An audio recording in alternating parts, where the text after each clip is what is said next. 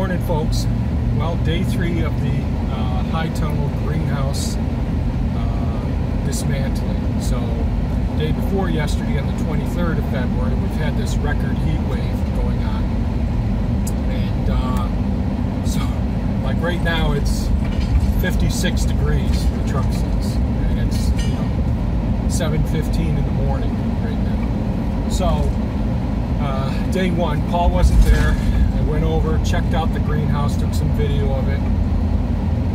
My wife hasn't seen it.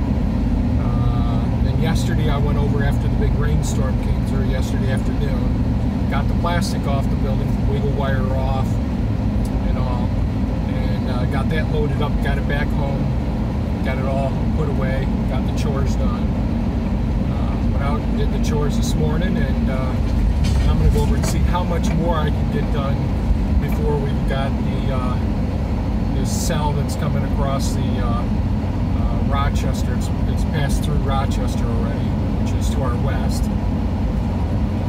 And that's going to hit us about 11 a.m. So I only have a couple hours to get as much down as I can. I really like to take it easy and just proceed through this uh, little bumpy here.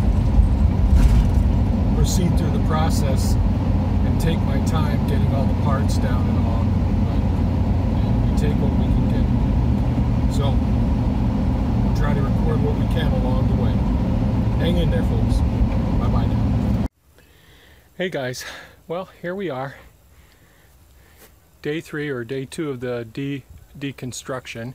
I've got the ridge pole down. trying to use my hand here. Uh, the side purlins down.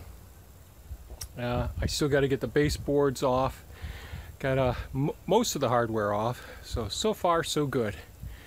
Did a little sprinkle a little while ago. I think maybe I've got an hour to two hours max. Uh, I see a lot of the buds because of this warm weather. Buds are already start are completely swollen on some of these trees and opening up. Hope that doesn't happen to my fruit trees. Okay, back to work guys. Well, things are going okay so far. As you can see, I got the hoops down and uh, let's see, spin around here. They're in the trailer. I still haven't gotten the uh, the side panels, I'm sorry, the roll-ups taken apart yet. I was hoping Paul come by, but looks like uh, he's not. The rain's going to be here probably about a half an hour, 45 minutes, I'm guessing. Hopefully, I could see if I can get some of these uh, stakes up that hold the hoops. I did the measurements. The, the uh, hoops are four foot on center apart and the span between the uh, two walls ends up being uh, 17 feet 3 inches in the one place that I checked uh, from uh, outside of the post to the outside of the post. So at least that gives me a reference. It might have been just 17 feet and then uh, it spread some with the weight. So I'm going to proceed and move on. Bye-bye.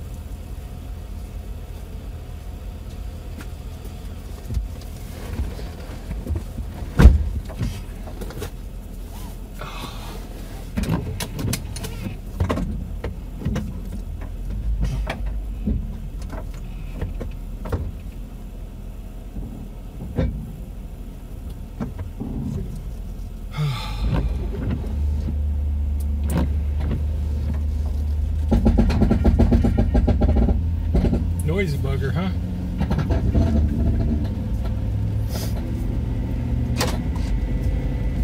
Well, I'm back, guys.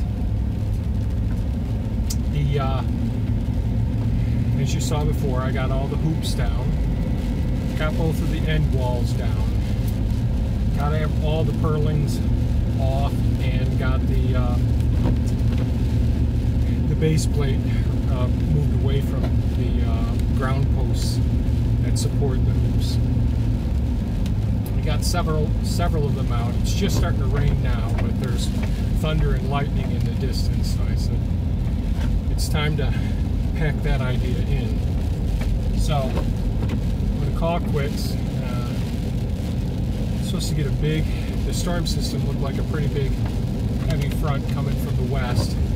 It looks like we're just on the beginning of it. So we'll have to see what it's like tomorrow. I know the cold front's coming in and we're expecting snow tomorrow. I'm not sure what time. I haven't seen what the latest forecast is.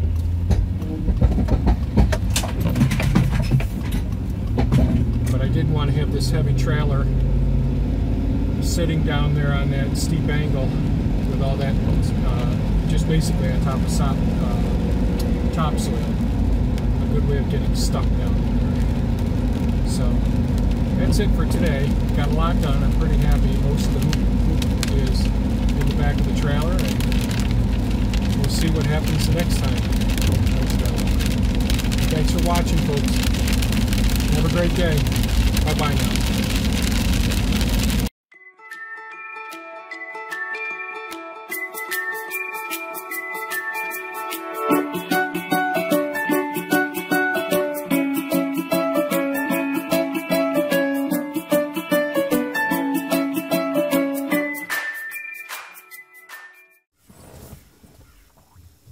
This thing recording? Yeah.